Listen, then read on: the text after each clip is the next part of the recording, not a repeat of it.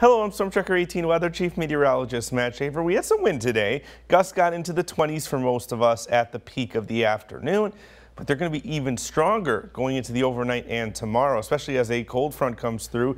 Uh, after midnight picking up again, sustained wind speeds in the teens, near 20. Gusts could be topping out in the mid to upper 30s. I would not be surprised to see a few 40s on the gusts. That's a shorter period of time, a shorter window right as the front passes, or in fact right before the front passes, where the winds are going to be the strongest. Then there's going to be a lull about in the morning hours near sunrise around 7 o'clock. The sun comes up, starts mixing the air a little bit, and you pick up some more gusts. Sustained winds in the 20s tomorrow.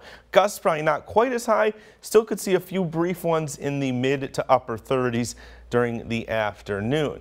Now, this all comes as a front passes, but I'm not expecting a lot of rain. Now, I think it'll be a little bit more than what Futurecast showed. It just had scattered showers, generally speaking, near and north of Highway 8, but I can see the line extending all the way down to La Crosse. Even if that happens, less than a tenth of an inch will fall. So rain isn't going to be a big thing, and it's going to be out by early morning. The clouds clear out slowly throughout the rest of the day. We're sunshine by the evening, and Friday starts pretty similarly the low temperature tonight, it's actually a little warmer, especially compared to where we've been. Dew points won't be terrible, but will be mostly cloudy.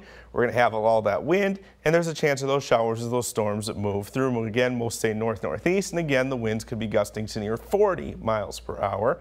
Tomorrow's high is 72, but that is going to occur early on in the day, I think, possibly even in the overnight hours. During the day, it's likely we're going to be stuck in the mid to upper 60s pretty consistently, even as the clouds decrease, because on the backside of that cold front, it's still very windy, carrying in colder air from the west northwest, 15 to 30 sustained, gusts again into the 30s.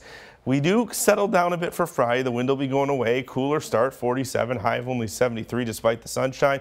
And Saturday, almost a repeat of today with high near 79 degrees, though clouds building into the afternoon and sh shower and thunderstorm chances will arrive overnight into Sunday. They should be out Sunday morning, though a few could linger through about midday.